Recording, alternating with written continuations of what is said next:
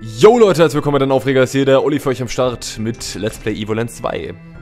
Ja Freunde, wir sind immer noch hier in der Zukunft im, äh, im Dreidimensionalen gelandet. Ich äh, habe auch während den ganz, ganzen letzten Parts nicht meinen Begrüßungstisch gemacht. Klack. Und ja, wir sind jetzt hier in einer Dungeon, suchen den, äh, den Anführung, Anführer der Diebesbande der wahrscheinlich zweifellos dieser Riesentyp ist, also dieser Boss von den Geistern noch aus dem Spukwald. Und irgendwie, ja, hält er sich sehr gut geschützt durch diese Spikes hier. Ich sehe irgendwie, dass ich hier nicht weiterkomme. Deswegen werde ich mich jetzt mit dieser Rüstung werde ich ein bisschen backtracken und gucken, äh, was ich damit noch alles machen kann. Weil zweifellos geht das ja. Gucken wir mal. Den Gegnern muss ich jetzt ausweichen. Versuchen wenigstens ein bisschen. Aua. Okay, hier kann ich... Hier aktiviert sich gar nichts. So. Die tun mir trotzdem noch weh, okay. Da muss ich jetzt ein bisschen aufpassen hier. Oh, und da ist schon Feierabend. Toll. Von wegen Backtracking, ne? Oh mein Gott, ist das eine Scheiße, Mann. Ich sehe irgendwelche Spi ah, Spikes. Ich sehe Spikes. Ja, ganz toll. Und das war's auch schon. Das kann ich jetzt machen. Wuhu. Nee, Backtracking ist nicht das Motto. Anscheinend denke ich hier schon wieder zu kompliziert und jetzt habe ich gerade in die Kamera geguckt, anstatt aufs Spiel zu gucken, habe jetzt mal wieder schön eine kassiert. Ich glaube, ich lasse mich mal kurz sterben. Und, äh, ja, mach das jetzt mal anders. So, wir sind wieder hier. Oh, toll, gleich zur Begrüßung mal wieder so ein Schmatzer bekommen von so einem Slime. Schade, ey.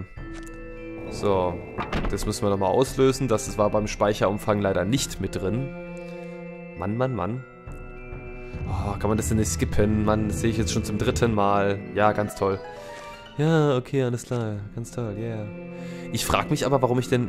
Da drüben ist auch so ein Teil, also so ein sternförmiger ähm, Plattform, sternförmige Plattform. Warum kann ich da nichts machen? So. Jetzt kann ich hier rüber. So, jetzt komme ich hier wegen diesen Dingern nicht weiter. So, jetzt kann ich hier aussteigen oder hier aussteigen. Warum sollte ich hier aussteigen wollen, frage ich mich aber auch gerade. Ups. Gibt es hier sonst irgendwas? Nee, ich kann hier nichts machen. Was soll ich denn hier machen? Warum soll ich denn hier abstellen? Hier bin ich einfach nur eingekesselt.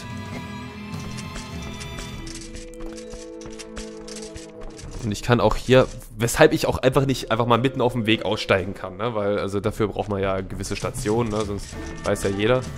So, und der Slime hat Gier nach mir, sehe ich jetzt schon. Der will mal ordentlich aufs Maul da hinten. Nö. Jetzt doch nicht mehr? Hm. Kann ich mit diesen Säulen irgendwas machen? Kann ich die zerstören? Nein, kann ich auch nicht. Hm. Sollen mir diese Steine hier irgendwas sagen? Nee, kein Scheiß, Mann, Leute. Bei solchen Spielen müsst ihr manchmal echt ein bisschen euch selbst ein paar Dinge fragen. Aber ich weiß leider auf den Tod nicht, wie ich jetzt hier weitermachen soll. So, der ist jetzt erstmal Toast hier. Der geht mir auf den Zeiger. Oh, ohne Quark, ne? Komm her, jetzt. Okay. So. Nee, ich weiß es nicht. Was ist das eigentlich für eine Wand hier? Okay, irgendwie komisch platzierte Steine. Der sieht mich sogar hier durch die Wand. Ich krieg langsam Angst.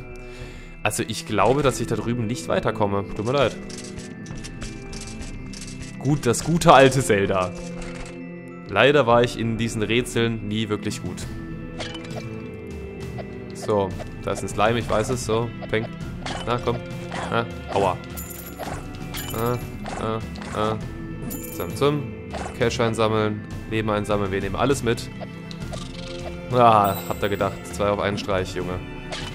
So, und das ist kein Schalter hier. Sehe ich das richtig? Nee, wahrscheinlich muss ich hier irgendwas... Halt, da ist ein Skelett. Kriegen wir das auch zermatscht wie die letzten? Nein. Aber ich meine, hier muss irgendwo ein Schalter sein, dass es hier nach oben geht. Der sollte aber auch nicht allzu weit weg sein. Was mache ich, damit ich da hochkomme? Von hier aus komme ich nicht hoch. Beziehungsweise dann kann ich vielleicht... nämlich das, äh, praktisch das Level dann nochmal so praktisch rückwärts passieren. Also hier... Wie mache ich das, dass, dass hier die Plattform hochfährt? Da muss ich hundertprozentig hin. Habe ich irgendwas vergessen, was ich vielleicht kann? Vielleicht irgendeine Fähigkeit? Also Backtracking mit der Rüstung habe ich ja schon versucht, dass ich damit zurückgehen kann. Da kommt aber irgendwann diese kleine Planke im nächsten Raum, dass ich nicht weiterkomme. Von hier aus? Warte mal, halt. Von hier aus vielleicht? Moment. Ja genau, das ist der Platz. Genau. Von hier aus vielleicht? Nein, ich bin ja ein Spast. Ähm, Moment, ich steige nochmal aus. Kann ich da durch und einfach mal drauf scheißen? Nee, kann ich nicht, okay. Nee, nee, geht nicht. So, noch ein Hit und ich bin schon wieder tot, Alter. Ohne Scheiß, was ist denn los? Das kann doch nicht so schwierig sein. So. Ganz vorsichtig. Ganz vorsichtig. Genau, so. Sehr viel näher geht nicht. Ja, die vordere Reihe kriege ich hin, aber ich will trotzdem dieses Herz haben. Ja, und jetzt? Warum kann ich hier nicht aussteigen? So eine Kacke, ey. Hier muss doch irgendwas sein. Ich, ich verstehe es nicht.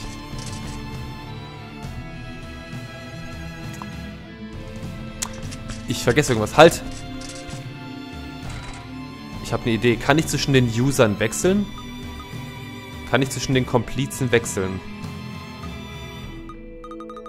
Kann ich da wechseln? Weil, weil die, weil die äh, Tina könnte jetzt was machen.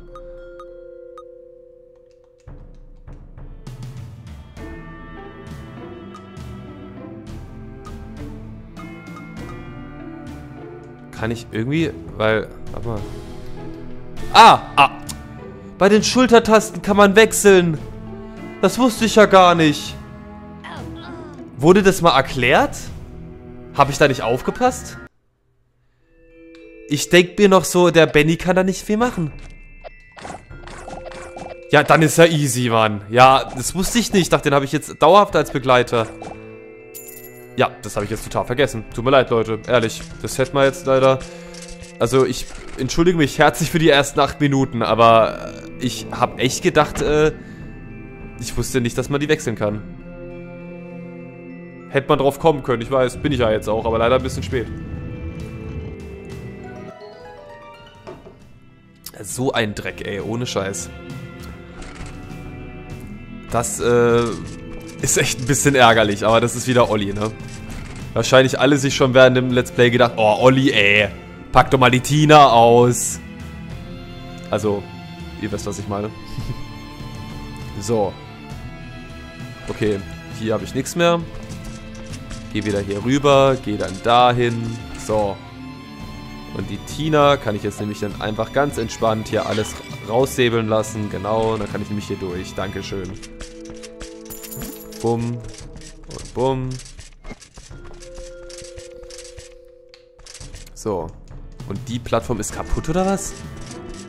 Äh. Okay, dann gehe ich wieder zurück, gehe hier runter. Easy. Junge, easy. Ja, also ich hab's mir... Ich hab's mir schon gedacht, das klappt so nicht ganz, ne? Genau. Die Tina, die ignoriert einfach mal alles, auch die Stacheln, auch die Schwerkraft, auch diesen äh, diesen Burggraben, kann man schon sagen. Die ist da ganz... Oh, oh. Ich glaube, das ist nicht gut, oder?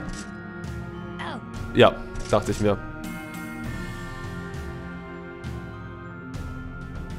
Okay.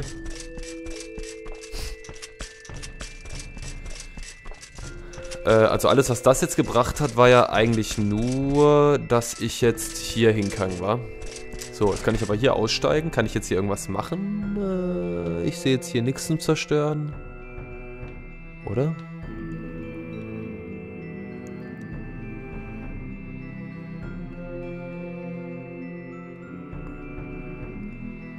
Hm. Moment. Ich kann höchstens hier was zerstören, aber ob das jetzt so Sinn der Sache ist? Okay, also wenn ich mir jetzt hier drauf stelle, dann sinkt das Ding ab und dann bin ich tot. Oder? Ja, kann ich auch nichts gegen machen. Bin dann einfach tot. So, und wenn ich jetzt hier ganz schnell rüber gehe, dann komme ich hier Jahre zu spät an. Und wieso kann ich jetzt hier nicht einfach aussteigen, ey? Was ist denn das für eine Rotze wieder? Muss ich die erst reparieren oder äh, was weiß ich? Jetzt wird's wieder knifflig. Ich hasse Rätsel. Beziehungsweise ich hasse sie noch nicht mal. Es ist einfach nur manchmal ein bisschen stressig. So. Treffe ich damit die Dinger da drüben? Jupp. Okay. Hat das irgendwas gebracht? Ja. Bisschen Geld und ein Herz. Aber ich kann die da drüben zerstören. Aha, aha, aha. Fortschritt.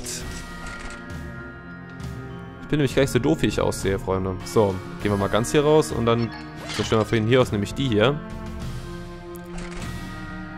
Und können dann nämlich hier weiter. So, bum bum. Bin ich nämlich hier. Kann mit Olli dann darüber. Und das bringt jetzt was. Dann kann ich von hier aus vielleicht die noch kaputt machen. Ja, cool, aber... Hm. Wenn ich jetzt mal hier zu Benny wechsle, bringt es irgendwas, wenn ich jetzt hier mit dem draufhau? Nein. Okay. Ja, trotzdem habe ich ein bisschen Fortschritt gemacht, hoffe ich mal. Also ich sehe es jetzt noch nicht wirklich. Ich sollte... Es ist irgendwie... Ich meine, die Rüstung muss ja hier drauf sein. Hier kann ich auch nicht raus, nee. Ah, ah, oh, Olli. Oh, oh, Olli, ey, manchmal, ne? Was ist jetzt los? Oh, ey, manchmal, ey, kannst du auch nicht zwei und zwei zusammenrechnen, ne? Das war wieder, das war, das, das, das sind halt so Sachen, du bist gewohnt, dass es so und so geht von anderen Spielen. Von wegen, du musst jetzt ein Gewicht finden, was da drauf muss oder so, ne? Deswegen habe ich da jetzt auf den Tod nicht dran gedacht. So, die sind jetzt auch dauerhafter. Okay, kann hier aussteigen. Kann mit hier dem darüber. Dann habe ich hier wieder einen Schalter. Dann wird sich das jetzt wahrscheinlich öffnen. Genau. Unglaublich, Alter. Unglaublich. Das sind einfach jetzt so ein bisschen eigenständige Elemente. Ich war jetzt einfach komplett in Zelda drin. In Zelda gäbe es das nicht, dass man einfach so äh, ein bisschen geschickt mit der Statue darüber latscht. Da müsste man jetzt irgendeinen Block finden oder sonst was, was man da draufstellt. Und bevor du mich jetzt weiter stresst, mache ich dich lieber gleich kaputt. Okay. So, wir haben ein bisschen Fortschritt gemacht, Freunde. Ähm, nur die Frage ist jetzt, wie geht's weiter? Jetzt bin ich hier wieder am Anfang, sehe ich das richtig? Yep, okay. Deswegen sehe ich das jetzt mal so, dass es ganz gut war. So, jetzt bin ich hier wieder am Anfang.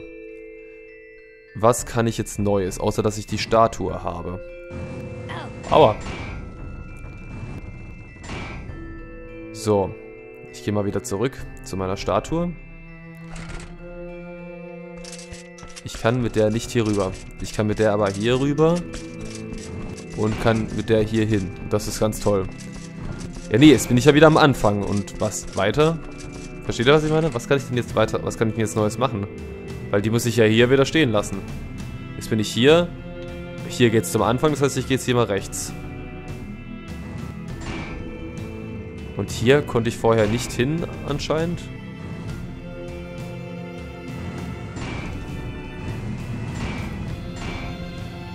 Hm. Und so läuft der Olli im Kreis, wa?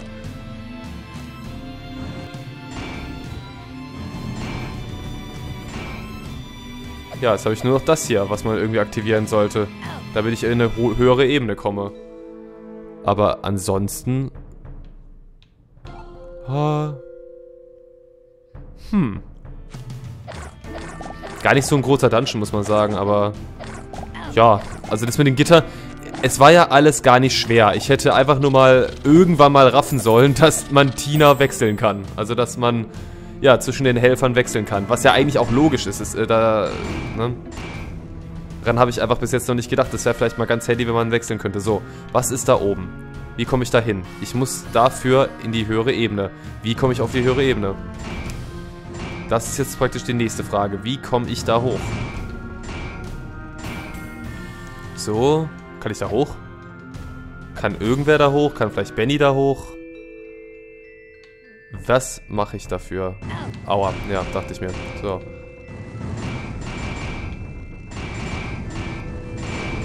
Müssen dafür die Blöcke irgendwie anders stehen. Ich bin gleich wieder tot. Ich kriege die Kotze. So. Nee, Tina war die falsche Antwort. Da habe ich gepennt. Ah, wir haben ja gespeichert zum Glück. Da oben links. Halt die Fresse. Fresse, Fresse, Fresse, Fresse. Oh Mann, Freunde. Das kann, das, das ist wahrscheinlich wieder richtig schön einfach und ich komme einfach nicht drauf.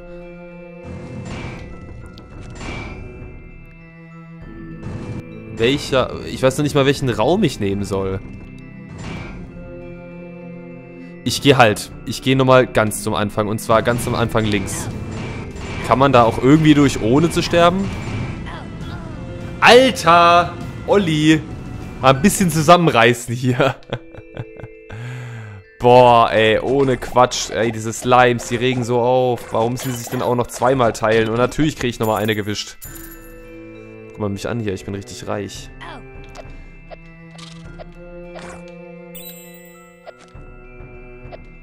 Mann, Mann, Mann. Ne, hier ist nix. So. Halt, ich gehe außen rum. Ich gehe mal hier links. War ich hier links schon? Nee, aber bringt, glaube ich, auch nichts, oder? War hier eine Truhe vielleicht? Ich weiß gar nicht mehr. Ich glaube, hier war eine Truhe. Ja, hier war eine Truhe. Und da war ein roter Trank drin, genau.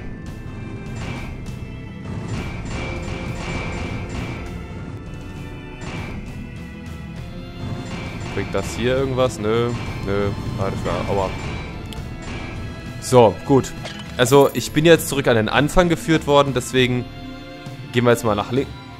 Und hier komme ich wie hin? Ähm. Moment. Wie soll ich denn da hinkommen? Wie soll ich denn an diese Truhe kommen? Wenn der Ritter hier nicht rüber kann. Oder kann der Ritter doch da drüber und ich weiß es noch nicht. Nee, das ist auch wieder, was ist ich wo. Kein Bock, den zu holen. Aber ob die Truhe jetzt die Lösung allen Rätselns ist, weiß ich nicht. Ah. Ich habe jetzt auch gar nichts gefunden, womit ich hier irgendwas aufschließen könnte, deswegen... Ich gehe jetzt mal hier links hin. Hier komme ich auch ohne Ritter nicht weit. Nee, der Ritter muss hier rüber. Der Ritter muss hier rüber und ich weiß nicht wie. Was haben wir hier drüben? Hier ist auch wieder irgendwas. Halt, Moment. Das muss gehen.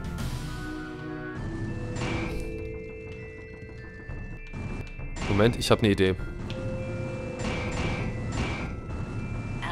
Ja. Aha! Aha! Easy, Alter. Easy. Fortschritt. So, und hier machen wir in der nächsten Folge weiter. Puh. Gar nicht mal so einfach hier. Ohne Scheiß.